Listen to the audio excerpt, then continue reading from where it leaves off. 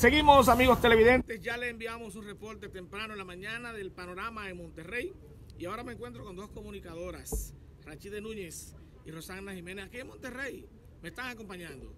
Vamos con ella. Rachide Núñez, buenos días. Buenos días, José Luis. Un placer para mí poder estar aquí desde esta ciudad de Monterrey en esta cobertura, en este seguimiento electoral. Agradeciendo a Dios por la oportunidad, como siempre. México es un país maravilloso, con muchos paisajes atractivos, con, es una ciudad hermosa.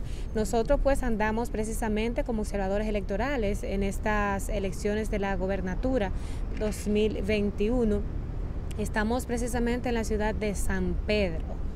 Y anoche participamos eh, de un cierre de campaña y quiero decirle a la gente que nos está sintonizando a través de, las redes que a nosotros nos, falta mucho por aprender, porque ah, es un cierre de campaña totalmente organizado, con un sonido, eh, habían altoparlantes, pero un sonido controlado, moderado, que no era molesto. La gente, aún en el cierre de campaña, estuvo muy organizada. El discurso del aspirante eh, Miguel que es un discurso muy que conectaba mucho con la gente que estaba ahí una gran cantidad de seguidores de todas las edades, pero sobre todo la organización hasta donde va incluido desde el diseño gráfico que se utiliza para, para hacer las campañas, las rotulaciones de los vehículos, es algo diferente, totalmente diferente a lo que hacemos en República Dominicana. Y definitivamente, amigos políticos altagracianos, aún nos falta mucho para aprender en ese sentido.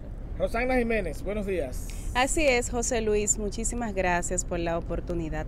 Feliz y contenta de estar en la ciudad de Monterrey, México, específicamente en el municipio de San Pedro Garza. Ayer, como decía mi compañera Rachide, estuvimos en un cierre de campaña que nos invitó a Mel Richardson, que estamos por él aquí en esta ciudad, que nos ha extendido la invitación. Y señores, sorprendente, ayer le decía a alguien ese cierre de campaña, muy diferente a lo que estamos acostumbrados a ver en nuestro municipio, en nuestra amada República Dominicana.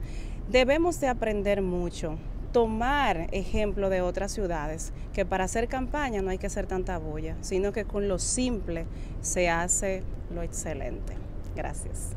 Bueno, ya escucharon ustedes a estas dos estrellas de la comunicación altagraciana y huellana desde Monterrey, México. Yo soy José Luis Peña.